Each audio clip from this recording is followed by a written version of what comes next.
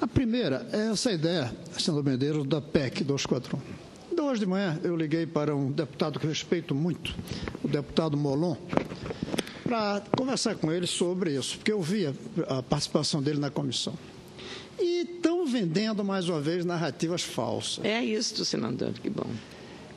Essa PEC é fundamental para a gente equilibrar as contas, baixar a dívida, o juro cair, retomar investimento, voltar emprego. Mas tem uma coisa por trás que eu estou gostando mais ainda.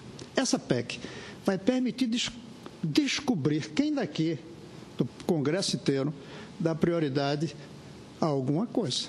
Peguemos educação. Agora, vai ser possível aumentar recursos para a educação, mas vai ter que dizer de onde tira. É fácil defender a educação e tudo mais, como a gente vê as pessoas fazendo, Sandro Medeiros. Acabou a demagogia quando for aprovado.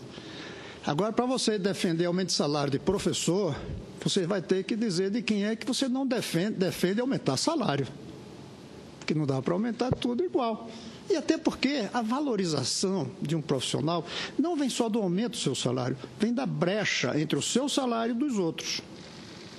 Agora, não vai dar para a gente ficar defendendo mais escolas e mais portos com o dinheiro do governo.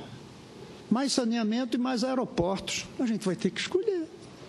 Isso vai ser muito bom para a política brasileira.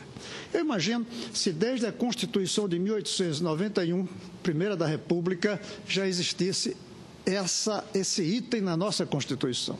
A política teria, feita de, teria sido feita de maneira muito mais séria. Porque não vai bastar ser a favor de um item, vai ter que ser contra outros. Por exemplo, essas estatais. Quanto custam elas? Daí a gente tira esse dinheiro e manda para a educação. Eu vou mostrar como é possível aumentar muito dinheiro para a educação, mesmo com a PEC. Espero que outros façam para a saúde, que outros façam para qualquer outra coisa. E aqui a gente vai discutir quem é que vai ganhar.